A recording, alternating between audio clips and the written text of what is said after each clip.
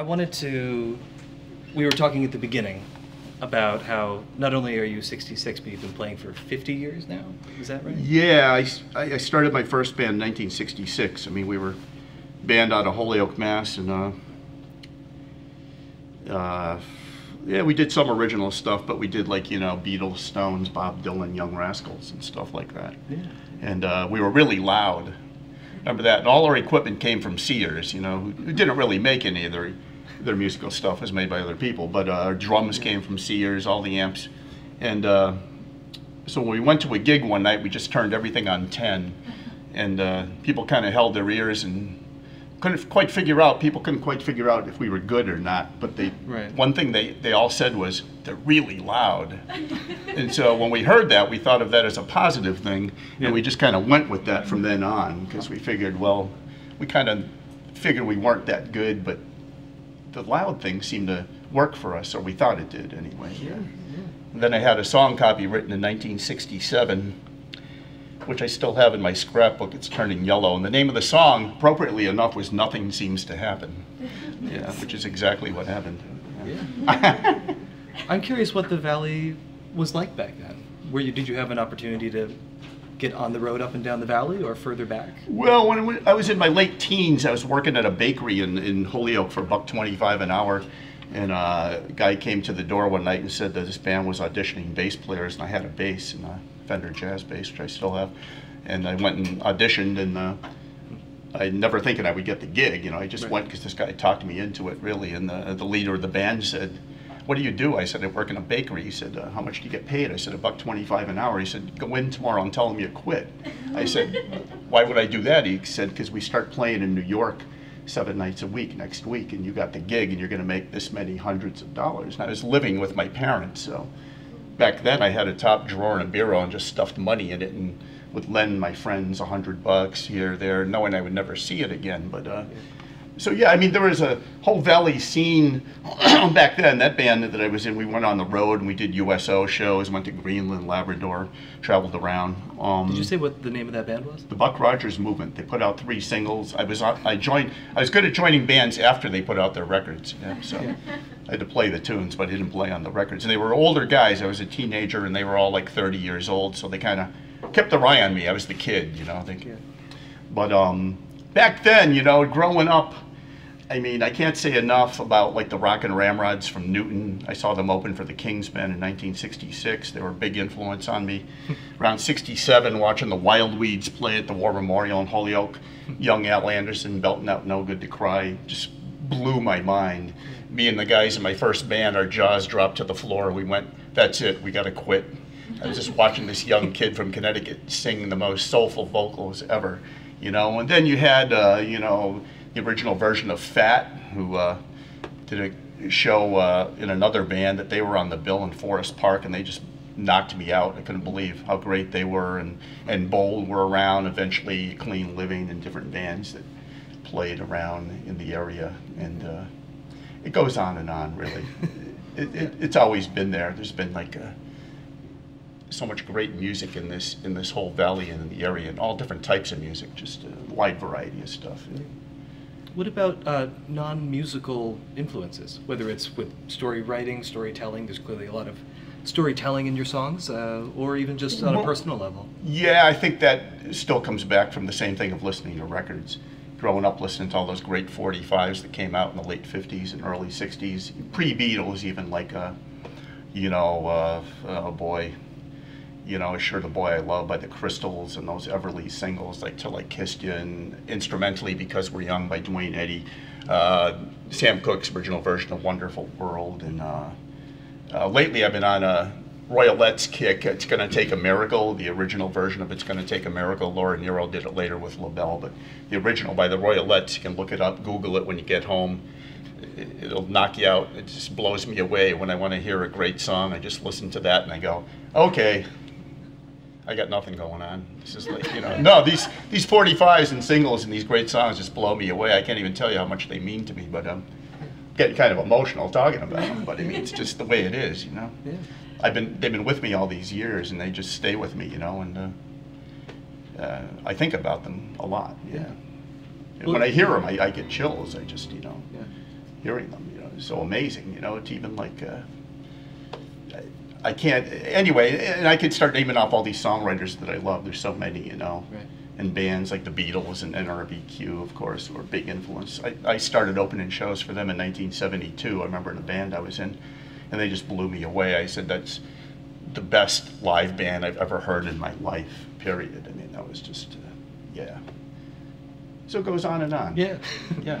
Well, it's interesting to hear what influences like that you carry with you in solo shows, things like that. But you're also a longtime member of the Lonesome Brothers. Yeah. You go back and forth between playing with bands and Yeah, and Jim Armenti and I started that Right. band 31 years ago, and Right. uh, Mhm. I played bass in that band, which Mhm. I started playing bass in the 1960s.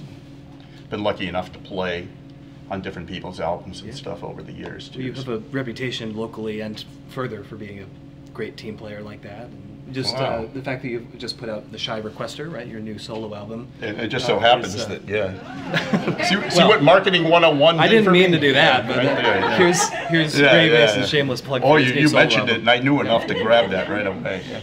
I'm curious about that because My it's, uh, 13th album, anyway. In Lonesomes, we have eight, but uh, 13 and 8 with the Lonesomes. yeah, Yeah. I guess that makes 21. But anyway, it's Just curious. Probably any, enough. Any thoughts you have about playing solo versus with the band? Do those do different things I- for I've you? been on playing solo for a long time. I mean, Right. I, I remember I started playing solo like way back.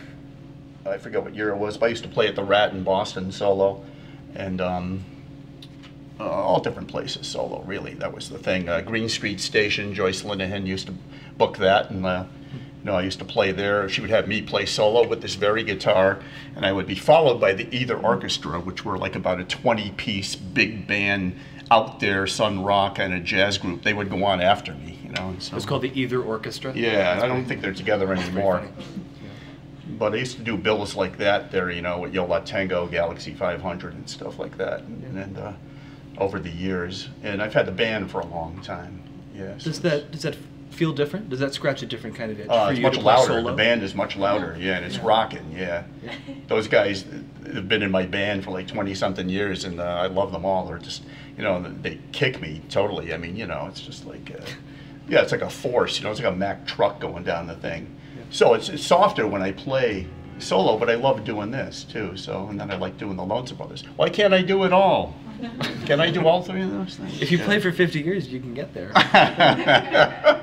Some people might never believe that. You've been playing for 50 years. Yeah, it sounds like you just started. No, I'm, I'm, I'm yeah, I don't want to pick on myself. Not bad. Any uh, questions for Ray Mason? Kristen? I do.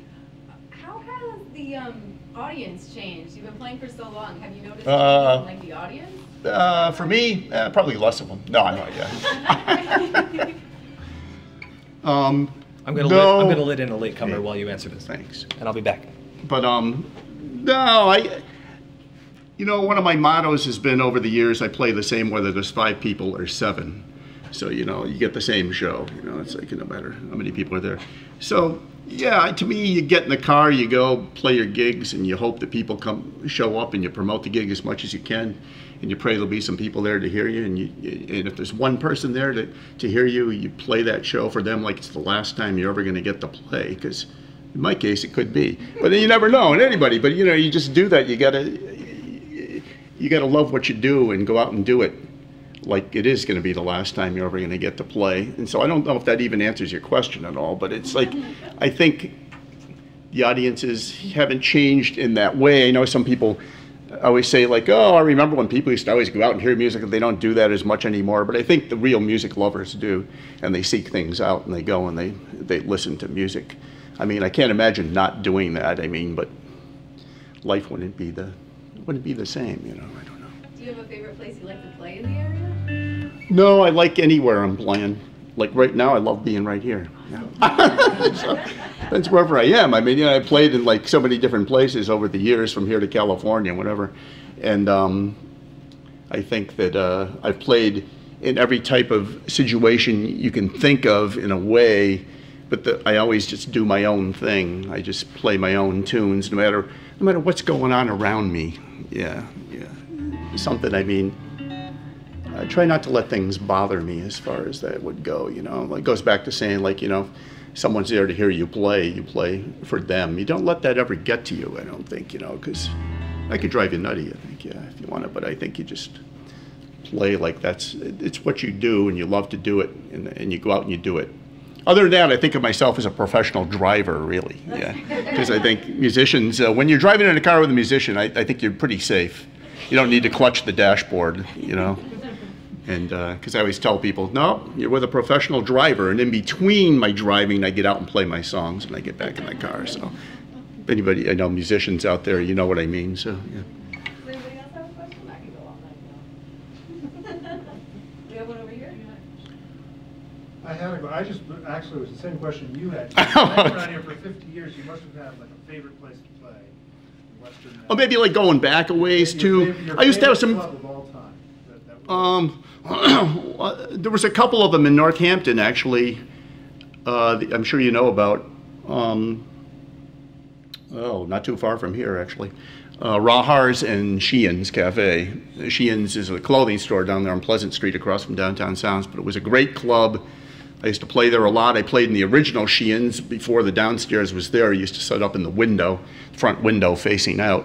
And then they opened the downstairs, which used to be just for storage and uh, they turned that into the space. And I remember hearing Hubert Sumlin down there, heard the Pixies on like a Tuesday night. I heard Flaming Lips in there as a trio. Um, played tons of gigs there. Rahars played there uh, with a bunch of different bands that I was in. And uh, one band, our first gig there, was a double bill with Mission of Burma. And Rahars, you could go and hear like one night you could hear the slits from england the next night albert collins would come in and the third night buddy rich and his big band were there and uh, back in the happy hour days and me and my buddy who was a dr- drummer sat at the bar and buddy rich walked in he walked by shook hands with my friend and immediately went to the pool room and just shot pool all the way until his, his show started yeah just was in there shooting pool with the sax player you know and, and uh, but uh, the, stuff you could hear is just I, I just like those clubs. They were very uh, casual in their own way, but the people that came through there and played were. When I think about it now, it's just like amazing. And of course, you had the Rusty Nail, and and right down where the there's a package store there now next to Roberto's. Used to be a club called Paul's Cafe where Bold played, but after that it became the Lazy River, and all these different bands played in there, and I used to play in there. That was a great place to play too. So. Um, but see, I don't want to get back in. I'm not getting back into any kind of thing like, oh, it was better back then, because it wasn't, you know. And now you've got, you know, the parlor room. You've got the parlor room there, and you got the Iron Horse. You have all great places to play in Northampton. To me, there's always places to go hear music and play. And I'm not into the, the thing of like, oh, something was better back then. No, no, it might be different, but uh, it's always good. There's always like great original music going on around here that every type you can possibly think of, and people creating it all the time. If you want to find it, then you can, you know, but, uh, and hopefully it's knocking on your door sometime. Yeah. Thank you. That's probably. I mean, I don't know. I was playing somewhere at a school not too long ago, and I think that uh, maybe my time was up, but uh, my, my friend who was a teacher there was out in Waltham, and, um, and he said, Hey, you want Ray to play another one? And everybody in the place said, Yeah, yeah. They were all applauding except for one kid. He, he got up and he started yelling, He's got to go! He's got to go! Look what time it is! He's got to go! and, and I didn't know what to say to that. Eventually, I just went, majority rules here, I guess. I don't know what to say. I mean, yeah, okay. So. Anyway, back to that CD. I'm just going to do a few songs off there. They're all really short. And uh,